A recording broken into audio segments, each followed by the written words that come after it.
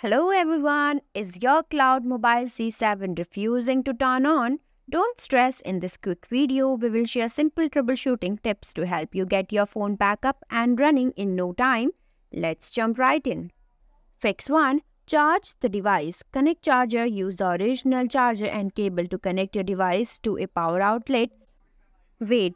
Leave it charging for 30 minutes to an hour. Check indicators. Look for any charging indicators like a battery icon on the screen. Fix 2. Force restart. Perform a force restart. Press and hold the power button and volume down button simultaneously.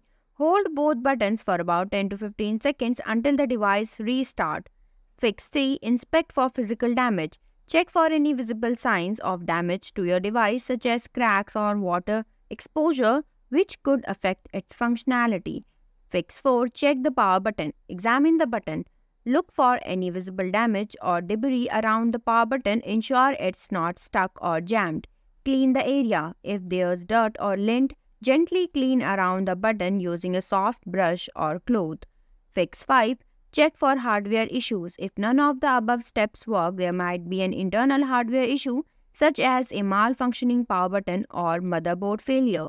In this case, contacting customer support or Talking it to a repair shop may be necessary. I have provided the link in the description. You can directly go through it.